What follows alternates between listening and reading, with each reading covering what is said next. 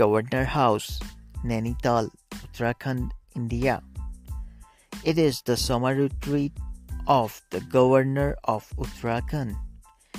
General retired Gurmeet Singh is the Governor of Uttarakhand since September 15, 2001 and in present.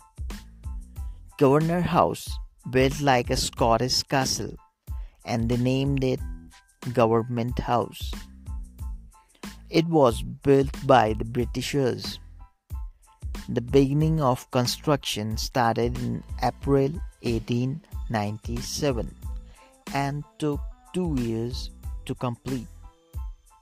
It is built on European pattern and based on Gothic architecture. After independence, it was renamed as Raj Bhavan. The golf course of Raj Bhavan, built in 1936, is one of the vintage golf course in India and is affiliated to the Indian Golf Union. Governor House is open all 7 days for the visitors. Ticket price is 50 rupees one person.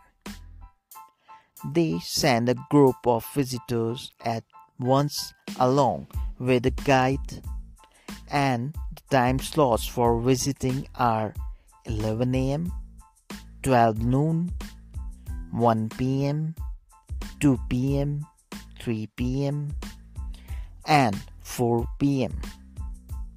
Maximum time is 35 to 40 minutes for explore. Parking facility available in front of the main entrance, which is free of cost.